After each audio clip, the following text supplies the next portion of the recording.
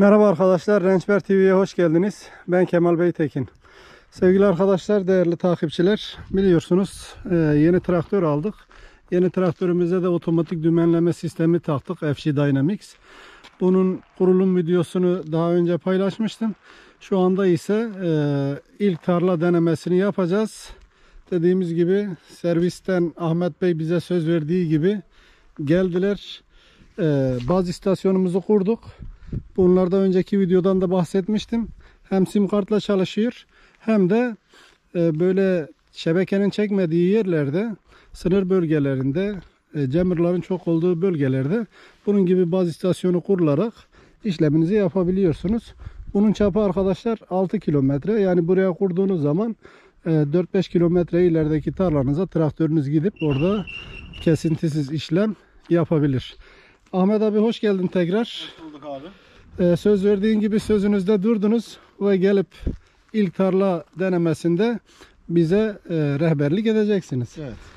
Baz istasyonumuzu kurduk. Evet. Tarlamız burası. Burası dara ekilecek. Ee, bir çizel vuracağız. Biz çizel diyoruz bu Evet. alete. Ve ne yapacağız şimdi? İlk defa ben kurdum diyelim. Zaten tarlaya geliyoruz. Ee, Önce ekipmanımızı ölçelim. evet. Ekipmanımızı ölçtükten sonra ekipman ölçülerimizi girelim traktör. Tamam. Ondan sonra AB hattımızı belirleyelim. Ondan sonra diğer geri kalan işlemleri traktör içinde devam edelim. Tamam. Dediğim gibi burası da Alifaka. Burada birçok cihaz da çekmiyor. Bunu da test etmiş olacağız. Niye burada e, çekmiyor arkadaşlar? Onu da belirteyim. Burada e, hapishane var arkadaşlar. Çok büyük bir hapishane var ileride. Yaramış'ta yani buraya yakın. Yaramış'ta buranın arasında. E, bundan dolayı herhalde ondan mıdır ya da buradaki bazı istasyonlarında mı sıkıntı var tam olarak bilmiyoruz ama burada birçok cihaz sıkıntı yaşıyor. Bunun da yaşayıp yaşamayacağını göreceğiz ve umarız yaşamaz da. Biraz da eminiz. Hadi bakalım hayırlısı. Önce Şimdi- ekipmanımızı ölçelim abi. Ekipmanımızın boyu 1.90. 1.90. 1.90 5'er santimde kenarlar al abi 2 metre gir. Çünkü aynı izden gelmezsin. Taraftan. Geliyoruz. Evet arkadaşlar. e, traktörümüze bindik. Traktörü de stop ettik. Sesimiz anlaşılsın diye. E, baz istasyonumuzu kurduk. Şu anda çalışıyor. Ve Ahmet Usta bu cihazı ilk defa aldık. E, kurulumunu yaptık. Eline sağlık. Şimdi ne yapacağız? Şimdi cihazımızı açtıktan sonra öncelikle şurada RTK'mızın olması gerekiyor. Bizim cihazlarda kendi yerel baz istasyonumuz bu şekilde gördüğünüz gibi Evet. var. Oradan kullanabilirsiniz. TUSAGA ile sim kart üzerinden haberleşebilirsiniz. Olur da sim kartınızın interneti biterse eğer telefonun Wi-Fi'sini açıp Wi-Fi'ye bağlayarak ekranımızı Wi-Fi'ye bağladıktan sonra buradan Wi-Fi'ye bağladıktan sonra tekrar çalışmanızı aksatmadan devam edebilirsiniz. Tamam şimdi biz baz istasyonuyla çalışacağız. Evet. E, tarlaya geldim. Ne yapacağım şimdi? Şimdi tarlaya geldik. Öncelikle arka ekipman ayarımızı yapacağız. Ayarlara bastık. Evet. Ondan sonra ekipman bilgileri dedik. Çalışma boşluğu, operasyon boşluğu ne kadar olacaksa, ekipmanımızın genişliği ne değilse, şu operasyon boşluğuna gelip tıklıyoruz. 2 metre 2 demiştik. metre evet 2 metre. 2.0 yazıp onayladıktan sonra buradaki ekipman çalışma boşluğumuz 2 Tam metre şekil. olacaktır. Ekipman genişliği, ekipmanımızın kendi genişliği, iş genişliği değil bu. Kendi genişliği Hı hı. olacaktır. Çalıştığı yani götürdüğü alanın genişliği bu. Ekipmanın genişliği dıştan dışa maksimum büyüklüğünün genişliğini girilir. Yani bunlarda çok hani elzem bir durum olmadığı müddetçe bunları giriş yapmıyoruz. Genel olarak sadece operasyon boşluğu, Bizim Ve- için o önemli. şey, Önemli operasyon olan boşluğu ve çalışma genişliğini giriyoruz. Çalışma genişliğini de operasyon boşluğu kadar girmemiz gerekiyor. Çünkü arkamızı ona göre boyayacak Evet. bu. İşimiz bittikten sonra ekipmanda geri çıkıp işimize devam edebiliriz. İstediğimiz kadar ekipman buraya kaydedebiliriz. Kaydedebiliyoruz. Daha sonra bir daha bu cihaz için, alet için girmeye gerek yok o zaman. Tekrardan yeni bir ekipman girmeye gerek yok. Buradan var olan ekipmanı seçip yükle dedikten sonra yükleniyor. O şekilde Evet. devam edebiliriz. Şimdi Tamam. ise geri çıkıyoruz. Burada işlemimiz bitti. Şimdi AB hattı belirleyeceğiz. Onu belirlerken alanlar, alan ayarları Saha diyor. Bizde daha önce kayıt olmadığı için şimdi kaydediyoruz. Evet. Bu sahaya kaydediyoruz. Saha adı Alifaka. Evet. Alifaka köyündeyiz çünkü. Yani tarlanın ismini kaydediyoruz. Evet. Çiftliği kaydediyoruz. Burada. Hangi çiftlikse. Ya İ ve Y tarım yaz. İ ve Y yaz yeterli. Tamam. Sahibi olunan çiftlik. Çiftliğin sahibi. Ya bunları sonra e, opsiyonel. Aynen burada çok önemli değil bunlar. Bir defaya mahsus girdikten sonra size eee, kendi aletinizi, kendi işinizi yapacağınız için kendi bilgilerinizi gireceksiniz. Hı hı. Bunları sürekli sürekli değiştirip girmenize gerek yok. Evet. Dışarı iş yapacağınız zaman müşterilerinizin arazilerini girer, Gireriz, girmeniz- evet. girerseniz daha iyi olur. Bunları kaydettikten sonra kaydet diyoruz. Sonra görev adı diyoruz. Görev adı dediğimizde görev ne iş yapacak? Ne görevi yapacak şu anda? Onu söylüyoruz. Süre. Görev adına bastım. Görev adı arazi sürümü dedik. Evet. Yapacağı iş türü diyor. Hasat, dikim, tohumlama, sprey, drenaj gibi gibi şeyler söyleyecek. Biz yapacağımız iş arazi Sürme. Evet. Sürmeyi seçip ekip operasyon boşluğunu 2 metre girmiştik biz Evet. zaten. Kaydet diyoruz. 2 metre olarak kaydet. Sınır alanı diyoruz. Sınır alanı eğer isterseniz arazinizin etrafını çizip hatlarınızı görebilirsiniz. göre Google üzerinden görebilirsiniz. Kaç dönüm olduğunu görebilirsiniz. Gibi gibi özellikler. Çoğu çiftçimiz bunu istemiyor. Hani çok zamanı kaybettiği için. Evet. Bunu istemiyorsanız ya sonraki adım diyorsunuz. Geçiyorsunuz. Taban çizgisi. Taban çizgisi dediğimiz olay ise aslında AB hattı. Taban çizgisine gelip artıya basıyoruz. Ekranımız değişecek. Traktörümüz geldi. Şimdi kenardan hangi yöne gideceksek bir AB Şimdi böyle noktası bir- atacağız. Şey yapacağız. Güney, kuzey.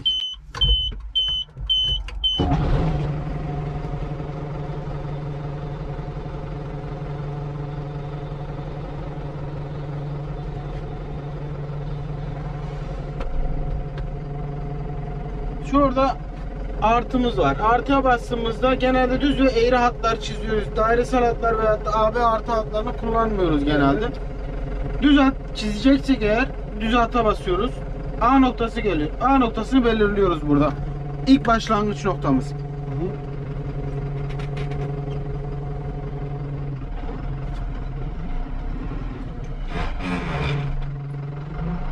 Başlangıç noktasını belirledikten sonra B noktasını belirlemek için o bir başa gidiyoruz.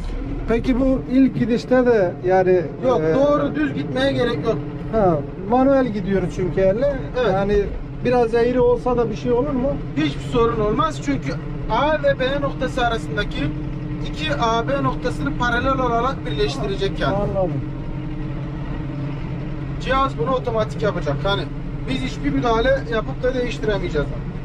Sadece eğri hatlarda gittiğimiz zaman eğri hattı seçip o eğri hatta gittiğimiz zaman Nasıl gitmişsek öyle. nasıl çıkalım. gittiysek hangi istikamette ne de eğrilik yaptıysak oralarda yapar. Ufak tefek eğrilikleri kendisi düzeltir. Düzeltir.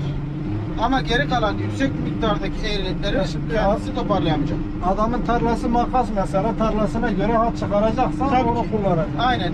Ama %90 da düz çizgi kullanılıyor. %90 düz çizgi nadir böyle kendi arazilerinde uğraşan insanlar Evet. genelde eğri çizgiyi kullanırlar makas tarlalarında. Say başlarında eğri çizgi kullanırlar ekim yaparken.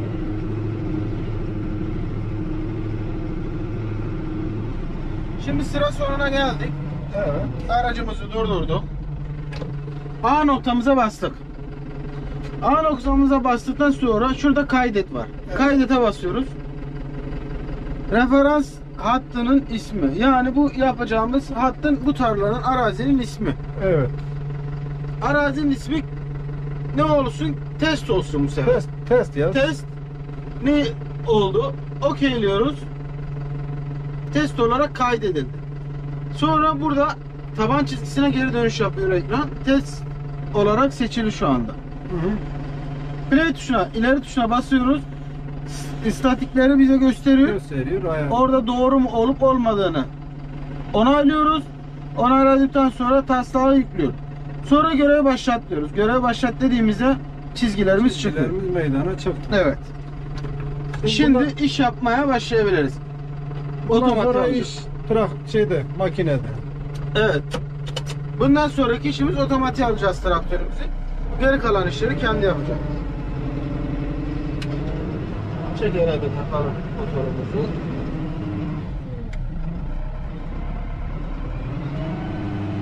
Şuradaki noktamız bizim A noktamız.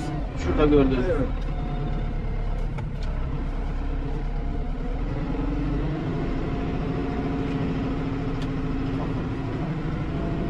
Traktörümüzü hareket halindeyken ya da durur vaziyetteyken başlığa bastığımız zaman artık direksiyonumuz kendi otomatik olarak gidiyor. Makinamız aynı zamanda geri geri gelirken de kendini sıfırlar. Hiçbir şekilde dokunmuyoruz. Şurada hassasiyeti görebilirsiniz. 0.01 Evet. Şimdi ekipmanımızı indirip ve işe başlayabiliriz.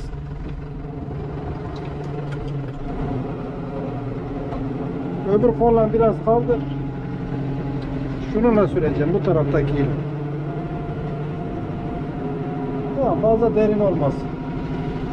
Şimdi işlem tamam herhalde. Evet. Bütün işlemimiz tamam. Şu anda traktör Direksiyonu bırakmışız.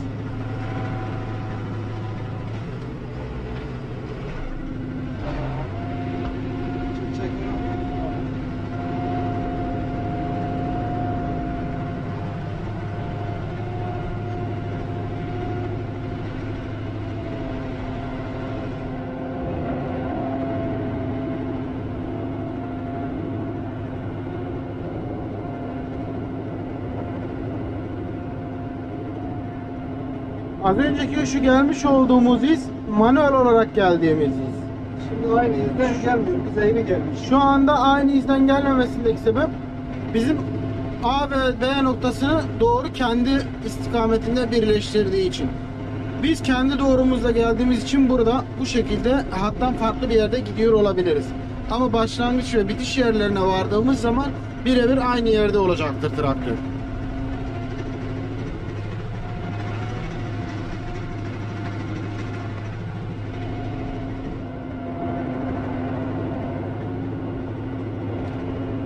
Sonunda iken şurada durdur düğmesine basıyoruz.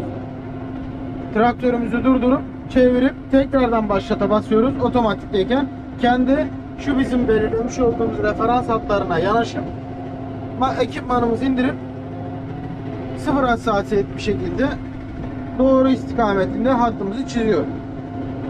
Ve şurada kayıda bastığımız zaman kayıt yapılıyor. Şu aşağıda ekipmanımızın götürdüğü alan kadar ölçüm yapacaktır.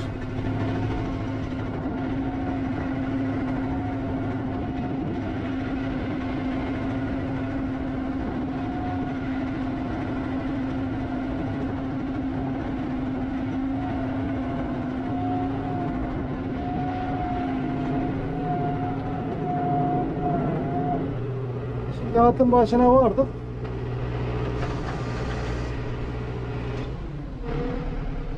Durdur diyorsun. Kaydı da be- bekletiyoruz çünkü fazla arazi ölçmesin diye bakın. Evet, Şurada anladım. başlattığım yerden itibaren ölçmeye başladım.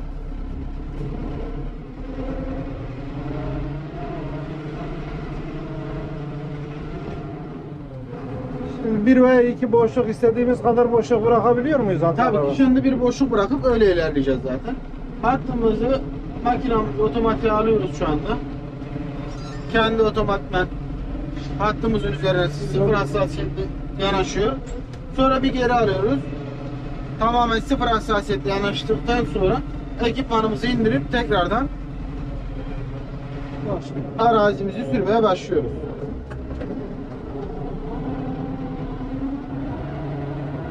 Yapılacak işlemlerin hepsi bu kadar.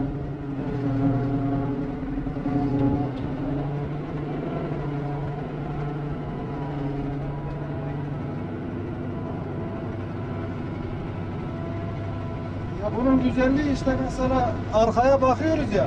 Normalde arkaya baktığın zaman hat mutlaka eğiliyor. Ama direksiyon serbest olduğu için arkayla daha iyi, iyi ilgilenebiliyoruz. Tabii ki arkaya kontrolümüzü yapıyoruz. Ekipman bir yere takıldı mı takılmadı mı? Başka bir sorun var mı yok mu? Ben göstergeye bakıyorum. Yani bir iki defa 3 santime kadar çıktı ama genelde Santim değil, milim. bilim. Evet. O 2-3 milim. Evet. Yani şu anda 0.6 ile gidiyor. Evet. 0.03. Orası 1 olursa 1 santim olacak. 0.1 Evet. olursa Evet. Milimetre zaten milimetre. Ya şimdi Arazi şartı biraz da zor. arazi engebeli çok şey var. Evet. Kesek var. Makine çok sallanıyor. Şu anda kaç uyduda çekiyor? Şu an 32 adet üründen çekiyor. Saatte 3 kilometre, 3,5 kilometre hızdan gidiyoruz.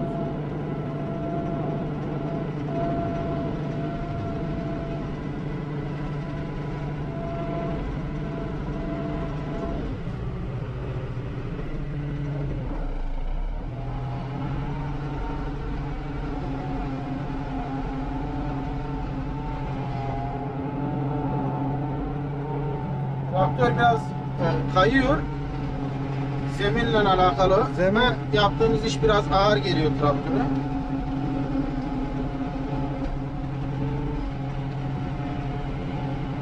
Buranın süreyi düzgün bir şey yapılmamış.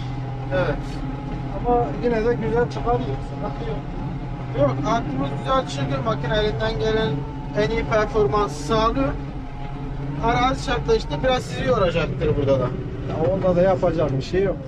Evet. Tekrar durdu. Kaydı durduruyoruz. Tekrardan traktörümüzü döndürüp bırakmış olduğumuz boşluktan devam edeceğiz. Boşluğu kapatalım bu sefer.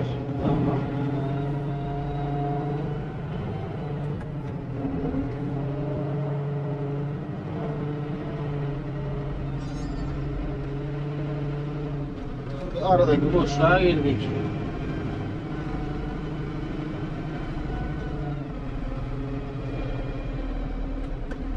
İndiriyoruz ekipmanımızı. Kayda başlatıyoruz.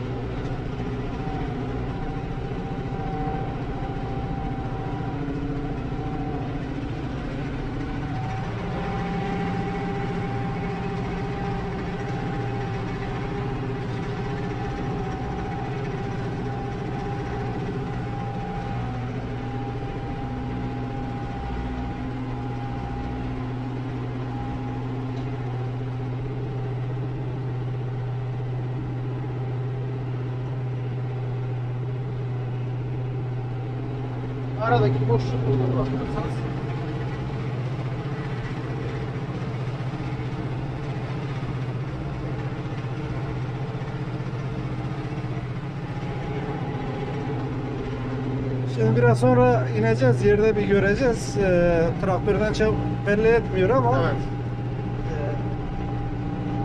e, sıfıra sıfır gidiyor gibi gözüküyor.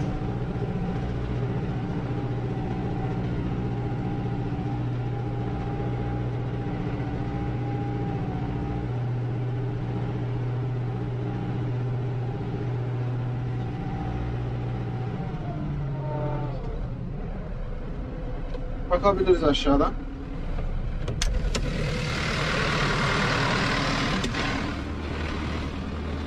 Hala derin sürmüşüz ha.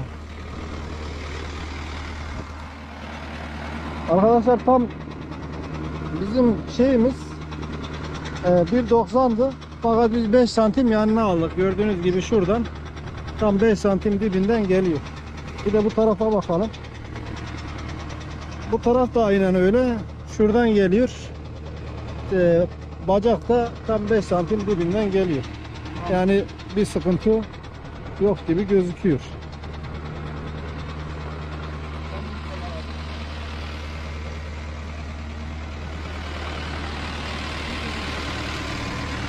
Ya Allah.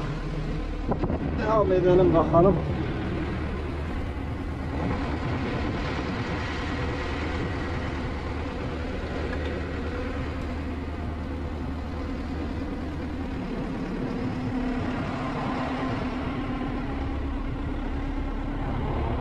Ben bir tutuyorum ki elim alışmış halen direksiyonu tutmaya çalışıyorum. Alışkanlık arkadaşlar. Direksiyonu halen tutmaya çalışıyorum. Bakıyorum direksiyon dönüyor. Bu direksiyon niye dönüyor diyor.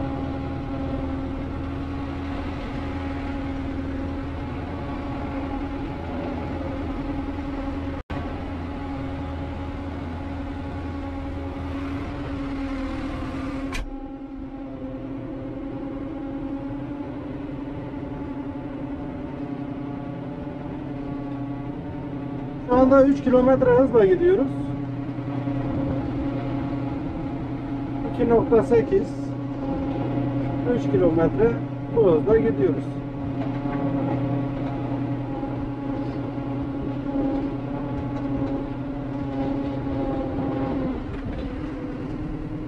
Durdura basıp diğer hata dönebiliriz. Biraz çalışsın hatta söndüreyim şöyle.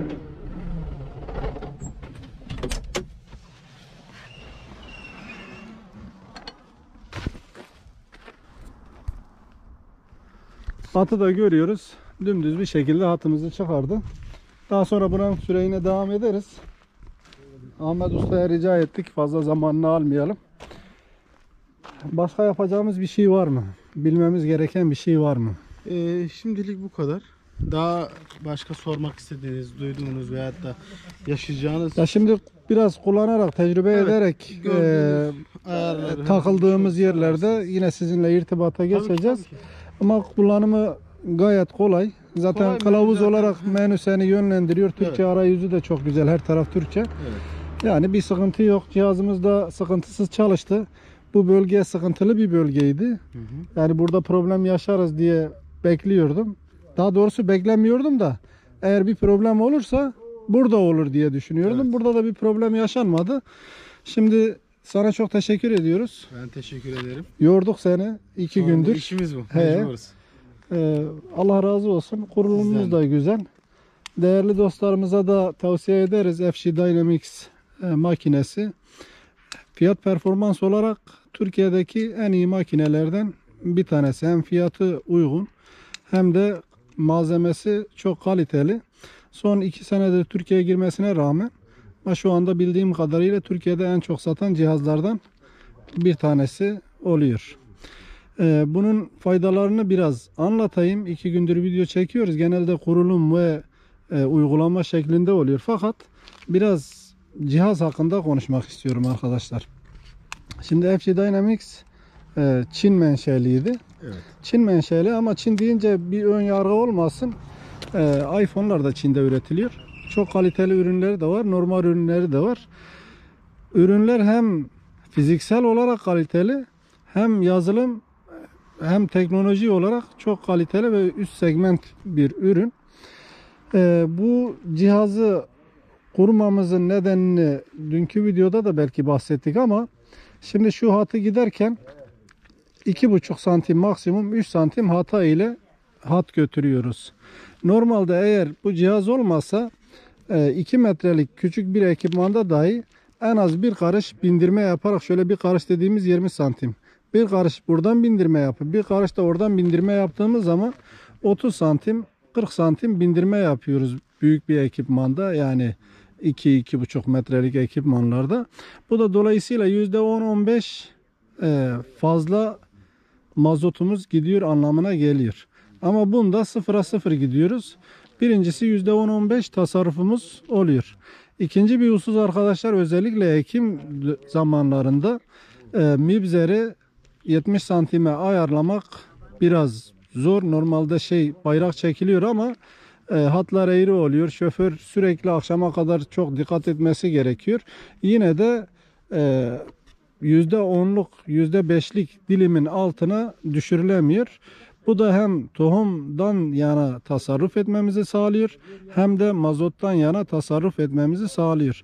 Ee, imkanı olan çiftçi arkadaşlarımız özellikle e, 100 dönüm gibi bir yer sürüyorsa eğer imkanı varsa mutlaka almalarını tavsiye ediyoruz. Şu anda da Ziraat Bankası'nın hibe desteği kapsamında %50 hibede olduğunu e, biliyorum. Devam ediyor mu etmiyorum bilmiyorum ama herhalde devam ediyor muydu usta? Evet 20 Ocak. He, 20 Ocağı kadar e, %50 hibe desteği devam ediyor. Yani 150-200 dönüm yeri olan bir insan e, bunu 1-2 senede amorti edecek hem de kullanım e, kolaylığından faydalanmış olacak.